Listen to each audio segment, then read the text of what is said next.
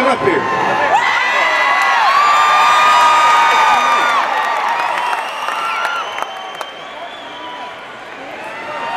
Dana and Mike. If I'm not mistaken, I can't hear, but I think Dana and Mike just got engaged.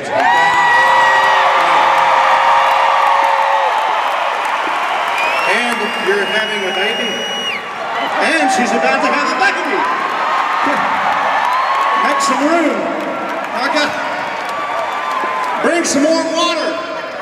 Hurry. What the hell kind of a festival is this? Jesus.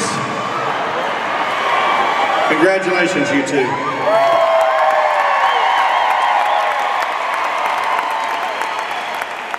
By the way, I can say this, I can say this tonight because you can look over there and see. There's some damn good looking women in this room here tonight. I'm just saying I can see everywhere I look. I know, right there. They're everywhere I look. I agree with you. Quit, that's my, quit doing my damn thing. I invented that. He's over here. I'm actually glad you did that because I didn't even see you standing there until you did that because I was.